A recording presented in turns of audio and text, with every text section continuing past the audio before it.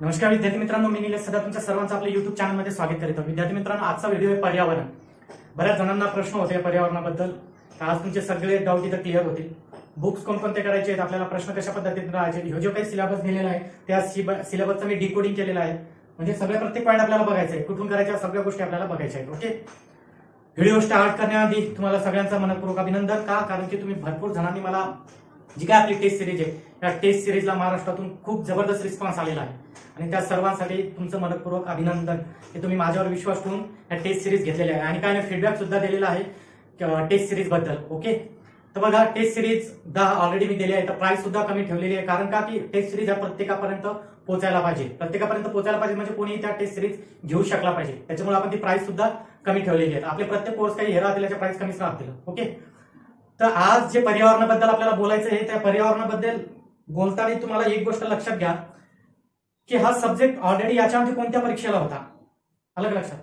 तर हा ऑलरेडी अॅग्रिएमपीएससी आपली पूर्व परीक्षा होती तर त्यावेळेस हा होता. त्याच्यानंतर सध्या राज्यसेवेच्या प्रीला आहे आणि मेन्सला सुद्धा आहे. ओके आता याचे काही पर्यावरण दिलेलं आहे आणि सब्जेक्ट आता पहिली गोष्ट म्हणजे याचं वेटेज किती राहील? तर मिनिमम येते सांगायचे दहा प्रश्नाच्या खाली याच्यात प्रश्न नसतील. मिनिमम वेटेज याच्यात दहा प्रश्न राहतील. किती असतील? दहा प्रश्न. म्हणजे इथे याला दहा प्रश्नाचं वेटेज याला राहू शकते. दहा प्रश्नाचं. आणि दहा पैकी दहा प्रश्न सुद्धा आपण घेऊ शकतो. तर असा सब्जेक्ट हे जर केला व्यवस्थित तर दहा पैकी दहा प्रश्न सुद्धा घेऊ शकतो.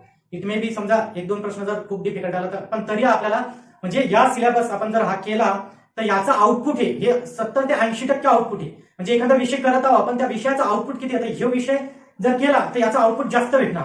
अलग लक्षात? ऍज कंपेअर तुमचं रिझनिंग झालं ऍज कंपेअर तुमचं इंग्लिश झालं. आणि असेच काही सब्जेक्ट आहेत ज्याला तुम्ही जर चांगलं केलं की त्याचा आउटपुट आपल्याला सत्तर ते ऐंशी टक्के एवढा भेटणार. असा आउटपुट आपल्याला त्याच्यातल्या पाच सहा सब्जेक्टला भेटला तर आपला स्कोअर गेला ओके म्हणजे जो काही आपल्याला एक क्रॉस करायची लिमिट तिथपर्यंत गेला.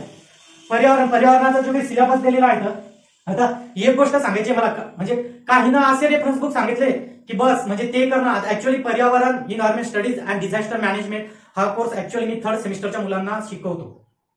थर्ड सेमिस्टरच्या मुलांना. आणि हा कोर्स सेम तुम्हाला कुठं दिलेला आहे तर जो मी या मुलांना तिथं दिलेला आहे बेसिक लेवलला तो सिलेबस ऍज कम इथं जो जो आपला दिलेला हा सिलेबस दिलेला आहे. तिथं तर अजून डीप दिलेला आहे याच्यापेक्षा तिथं डीप दिलेला आहे थर्ड सेमिस्टरचा कारण माझ्याकडे ऑलरेडी मी बॉटनीचा आहे त्याच्यामुळे माझ्याकडे हा सिलेबस दिलेला आहे. आणि मी हे घेतो. म्हणून मी तुम्हाला सांगत आहोत जर हे केलं ना तर खूप म्हणजे तुम्हाला मॅक्झिमम मार्क्स याच्यात पडू शकतात. तर मग काय करायचंय पर्यावरण? आता काही ना असे बुक सांगितलं होते की बा ई भरूच्या Shankar I S P D Sharma वगैरे अरे आपण स्टेट लेवलची परीक्षा देता हो आणि मागचे क्वेश्चन बघा काय येतं आपण स्टेट लेवलची परीक्षा देता आणि तुम्ही ई भरूच्या शंकर आय चमोड पी डी शर्माचा अग्रवालचं मी सांगतो रेफरन्स बुक किती पाहिजे तुम्हाला पर्यावरणाला. पण हे रेफरन्स बुक आपल्याला इथं करण्याची गरज नाही.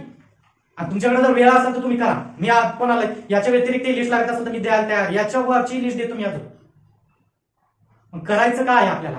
का लक्षात? बेसिक करायचंय बेसिक बेसिक करायचं. आपल्याला जे विचारणार बेसिक करायचंय.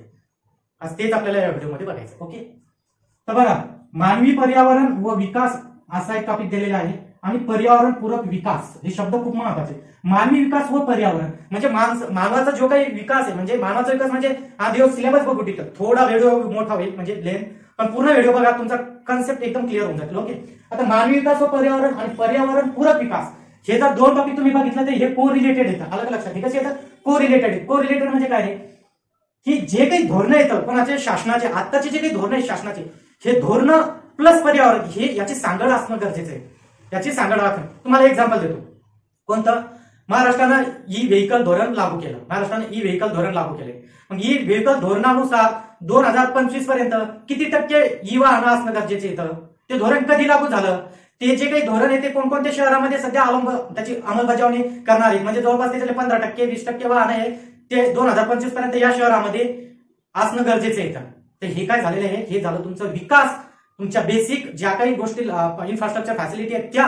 पण त्या कशा पाहिजेत? त्या तुम्हाला पर्यावरणपूरक पाहिजे कशा पाहिजे पर्यावरणपूरक पाहिजे म्हणजे प्रत्येक शासन जे काही राज्य असेल जे काही आपलं सेंट्रल गव्हर्नमेंट असेल याच्या ज्या पॉलिसी येतात त्या पॉलिसी प्लस काय आहे तुमचं? पॉलिसी ज्या येतात त्या प्लस पर्यावरण. याची सांगड. म्हणजे तुम्हाला सरळ सरळ याच्यात काय करायचं आहे? तर याच्या शासनाचे जे काही धोरण येतं म्हणजे धोरण तुम्हाला मागच्या तीन वर्षाच्या धोरण करावं लागतील.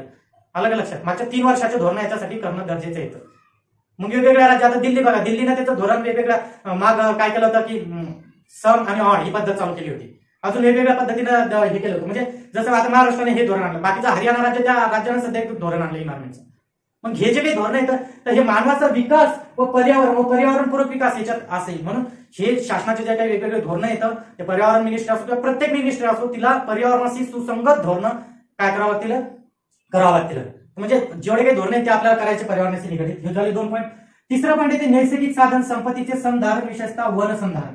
आता नैसर्गिक साधन संपत्ती जी काय आपली नैसर्गिक साधन संपत्ती आहे तर याचं संधारण विशेषतः वन संधारण. तर या या घटकामध्ये काय अपेक्षित आहे? म्हणजे याच्यातलं जे काही नेचर कन्झर्वेशन हा टॉपिक तुम्हाला करायचा आहे. काय करायचं आहे नेचर कन्झर्वेशन हा टॉपिक करायचा आहे तुम्हाला. नेचर कन्झर्वेशनमध्ये तुम्हाला सगळं चालू. तुमचे वेगवेगळ्या प्रकारचे त्याच्यात लॉ आलेले आहेत.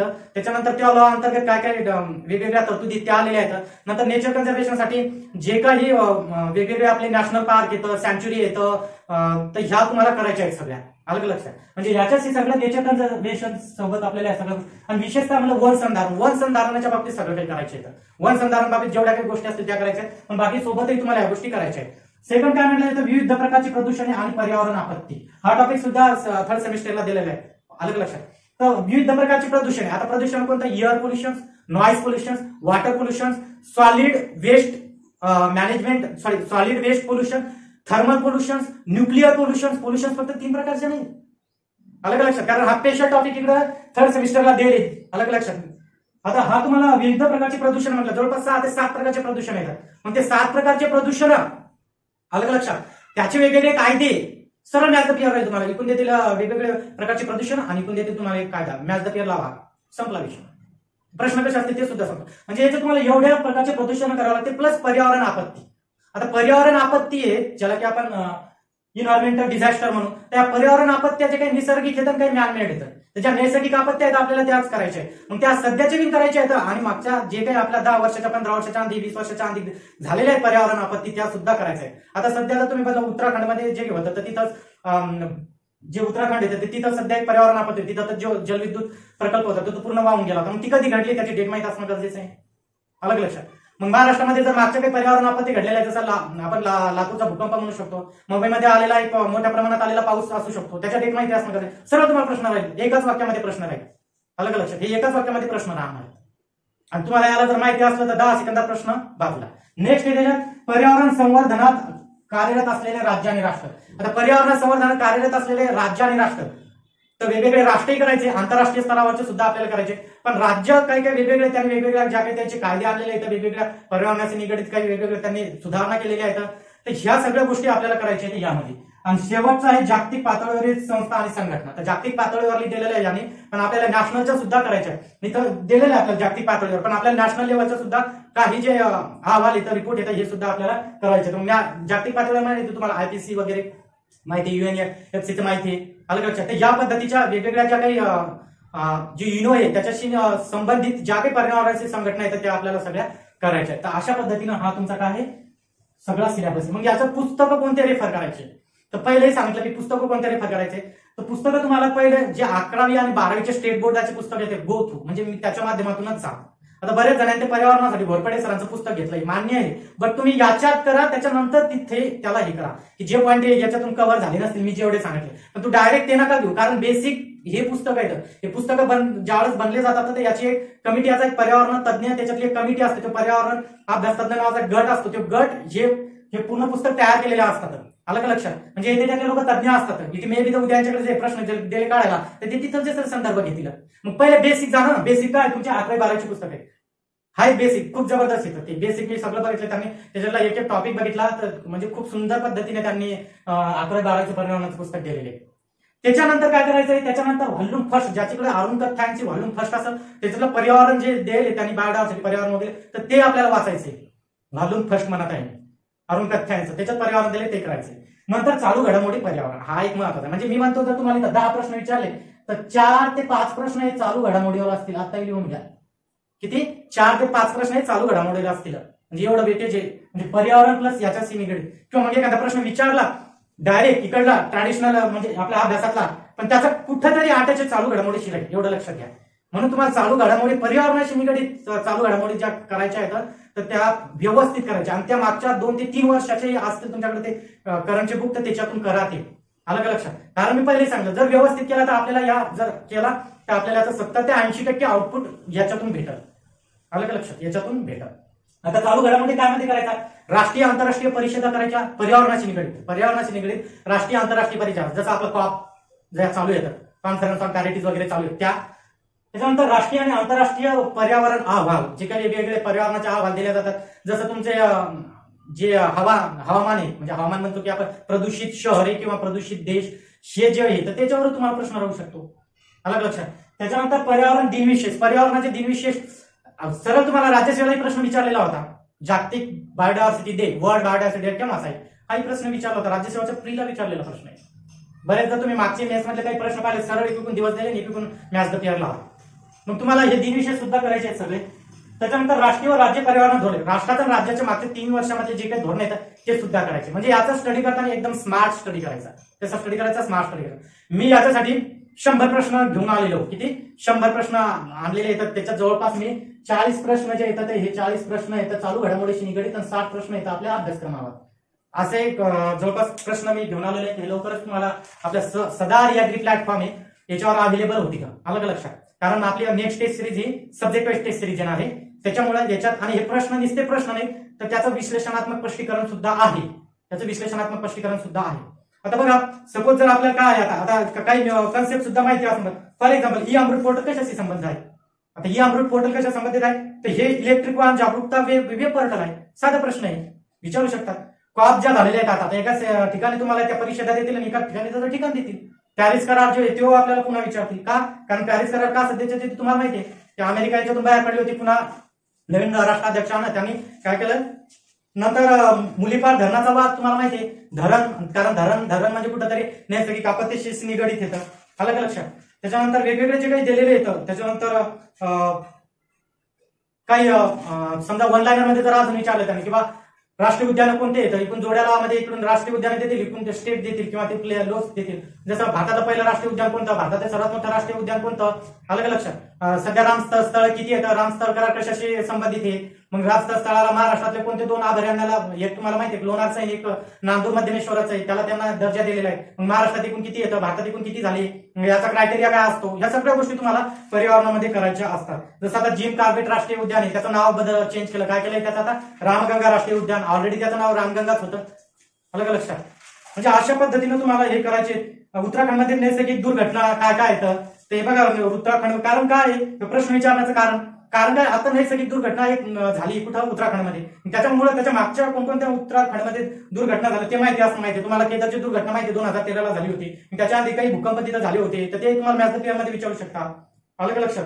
वसुंधरा दिवस काय असते? पुन्हा जागतिक काही महाराष्ट्रातील खाली कोणत्या भागात सर्वाधिक जैविक दर आढळते? तर अशा पद्धतीने प्रश्न सुद्धा तयार केलेले आहेत. नंतर बघा खालीपैकी कोणत्या भारतीय राज्य व केंद्रशासित प्रदेशाने सात ऑगस्ट दोन हजार बावीस ला इलेक्ट्रिक वाहन धोरण सुरू केले? म्हणजे अशा पद्धतीने तुम्हाला हे प्रश्न राहतील. लवकरच हे प्रश्न मी तुम्हाला हे जे काही प्रश्न येतात हे त्या आपल्या ग्रुपमध्ये जे काही आपला सदारी अग्री प्लॅटफॉर्म आहे त्याच्यावर अवेलेबल करून देत आहेत. तर मग पर्यावरण करताना अकरावी बारावीचे पुस्तक करायचे येतं त्याच्यानंतर अरुण तथ्यांचं करायचं आहे. चालू घडामोडीवर विशेष भर द्या. चालू घडामोडीवर पर्यावरणाशी निगडीत. कारण आपल्याला तीनच मिनिमम तीन तरी प्रश्न त्याच्याशी निगडीत राहणार आहेत. आणि तुम्हाला जर भरपूर वेळ असेल म्हणजे माझा अभ्यास झाला आणि आता मला वेळ आहे सर अजून सांगा मी पर्यावरणावर काय करू? तर मग वाचा तुम्ही कोणते? घरकडे सर वाचा ई भरूच्या वाचा शंकर आय एस वाचा पी डी शर्मा वाचा आणि अजून काही लागले तर मला सांगा मी अजून तुम्हाला बुक सांगतो. आलं का लक्षात? काय बेसिक ज्या गोष्टी आहेत त्या करा तुमच्याकडे वेळ काय आपला वेळ त्याला किती वेळ द्यायचा त्याचा आउटपुट काय या सगळ्या गोष्टीचा विचार करून त्या अशा पद्धतीने तुम्ही पर्यावरण करा वेगवेगळे जे काही टॉपिक दिले येतं यानुसार हे करा. तुम्ही करत असाल मान्य आहे पण आपल्या स्टेट लेवलची एक्झाम आहे आणि हे जे पुस्तकं सांगितले ते सगळे सेंट्रल लेवलच्या परीक्षेला युज केल्या जातात. आणि त्याच्यातही मी सांगतो की तुम्हाला हे जे याच्या प्रश्न येतील हे करंटच्या अटॅच राहतील करंटचा टच राहील हे प्रश्न हे पुस्तकं काही हे नाही काही, हे खूप छान पुस्तकं आहेत. ई भरच्या झालं शंकर आयस नोट झाला पीडी शर्मा झाला. पण पण आला तिथं ते आपण स्टेट लेवलची परीक्षाची तयारी करत आहोत. त्याच्यामुळं त्याच्याशी संबंधित जर आपण हे केलं बुक्स जर बघितले तर हे बेसिक पुस्तकं करा. आणि तुम्ही मग घोरपडे सरांचंही वापरत असलं ठीक आहे. पण तुम्हाला आधी अकरावी बारावी करा. त्याची व्हॉल्यूम करा अकरावी बारावी करा एक ज्ञानदीपचं बुक आहे पर्यावरणाचं. आलं का लक्षात ते पण खूप छान बुक आहे. अशा पद्धतीनं तुम्ही हे करा. तर नेक्स्ट व्हिडिओ मी आता पर्यावरणावरच घेऊन येणार आहोत ओके जे काही वेगवेगळे कायदे आहेत ते याच्यावर नेक्स्ट व्हिडिओ घेऊन येऊ. तोपर्यंत स्टे होम सेफ होम तुमचा अभ्यास कंटिन्यू चालू राहा आणि पुन्हा एकदा तुमचा थँक्यू तुमच्या सर्वांना कारण की तुम्ही एवढा सर्व रिस्पॉन्स देता टेस्ट सिरीज आणि रिमोट सेन्सिंग एरर फोटोग्राफला लवकरच सब्जेक्ट टेस्ट सिरीज येणार आहे विथ विश्लेषणात्मक स्पष्टीकरणासोबत ओके